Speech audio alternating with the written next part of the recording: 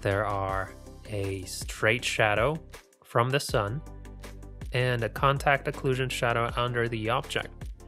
If we use photo editing of people, you should also take it into account. An object in shadow has a diffuse shadow anyway, when it is with the sky. So, how to make it? That's very easy. And then, in theory, the shadow between the legs here should also be deeper, brighter. So, what do we do? We just copy this layer and scale it down.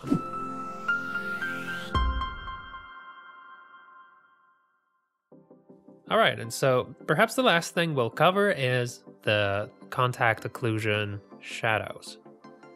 So, what is contact occlusion shadows? So, if your object is in the shade, it doesn't mean that it does not cast its own shadow. If we look at a car, there's a shadow under it. There are a straight shadow from the sun and a contact occlusion shadow under the object. If we use photo editing of people, you should also take it into account. For this girl, I forgot about this moment a little. For an object in the shadow to match as accurately as possible, contact with the surface, you need to add the following. Let me close all the folders. We don't need those. All right. And let's create a contact shadow for this first girl here. So what is it? An object in shadow has a diffuse shadow anyway. When it is with the sky. So how to make it? That's very easy. We create a new layer. We place it under our project. Under the girl. Next we create an ellipse. Basically of any size and fill it with color, which we took from a white, preferably light object somewhere in the shadow.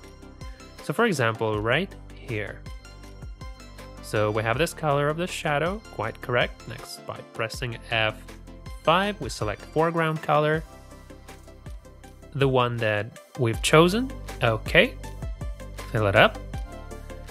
Then we can deselect and lay this layer in multiply mode. So this is the, we get this kind of oval and we can place it under the girl. And of course it's very bright right now. But I think that it's clear. We just need to blur it correctly. Use the Gaussian blur filter and achieve maximum blur, almost like this. Now it's still very strong. The contact shadow is very strong. And of course we can focus again on the reference render. As you can see, you can barely notice it. But still, if we switch off this girl, we see a light shadow. So keep that in mind.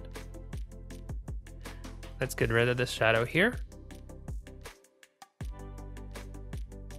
And let's change opacity up to 10% like this. So a light shadow creates a, a light contact between an object and the surface. And then in theory, the shadow between the legs here should also be deeper, brighter. So what do we do? We just copy this layer and scale it down.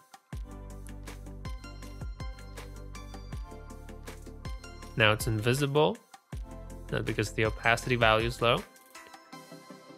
Let's increase it and set it here between the legs. This way our object will match the surface better. Alright. And the girl must also have a more serious contact shadow here.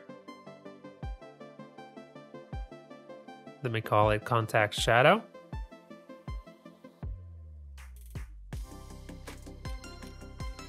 Copy this layer, Control J, and move it to our girl number 3.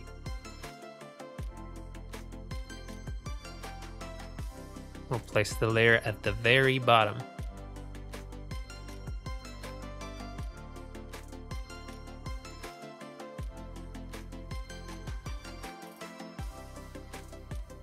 The contact shadow always has the direction if the light source is on the right.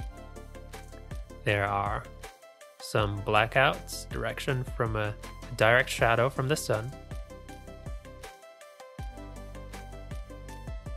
Like this. But it shouldn't go beyond the edge of the direct shadow. That's why we'll remove it if anything crops up. Now it looks well. There's a contact shadow here and there. All right, that's all. Thank you for watching, and we'll see you in the next lesson.